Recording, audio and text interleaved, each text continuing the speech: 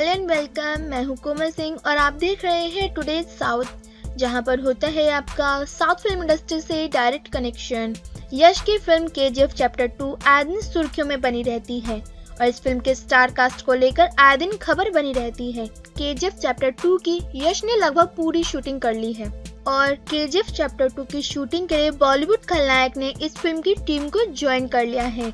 इसी के साथ हम आपको बता दें, संजय दत्त अधीरा के किरदार की शूटिंग करने में व्यस्त हैं। दर्शक इस फ़िल्म के लिए बहुत ही ज़्यादा एक्साइटेड भी हैं। के सिनेमा ने यश के करियर और कन्नड़ सिनेमा में नया माइलेज लाया है इस फ़िल्म ने न केवल कन्नड़, बल्कि बॉलीवुड में भी अपना नाम बनाया है यश ने कुछ समय बाद ही बॉलीवुड छोड़ दिया बॉलीवुड में कई लोगों ने उनकी दाढ़ी, यश स्टाइल की प्रशंसा की है हाँ पुरानी फ़िल्में जिन्हें हिंदी में डब किया गया था अब माइलेज दे रही हैं।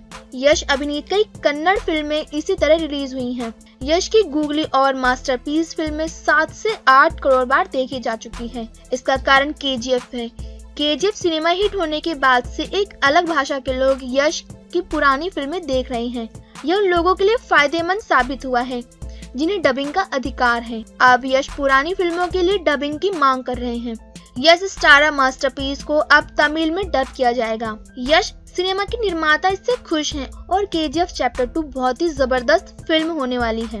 इस फ़िल्म में यश के साथ बॉलीवुड की खलनायक संजय दत्त भी नज़र आने वाले हैं। हम आपको बता दें कि के चैप्टर टू की शूटिंग के लिए संजय दत्त सेट पर पहुँच गए हैं। और आपको ये भी बता दें कि हम इस फ़िल्म को देखने के लिए बहुत ही ज़्यादा एक्साइटेड हैं। आप कितने एक्साइटेड हैं, वो हमें नीचे कमेंट करके ज़रूर बताएँ। साथ ही साथ अपने ओपिनियन शेयर करना बिल्कुल भी ना भूलें। और आप हमारे न्यूज़ टूडेज डॉट कॉम पर भी देख सकते हैं और यूट्यूब पर भी सब्सक्राइब कर सकते हैं। थैंक यू सो मच की watching today's for more news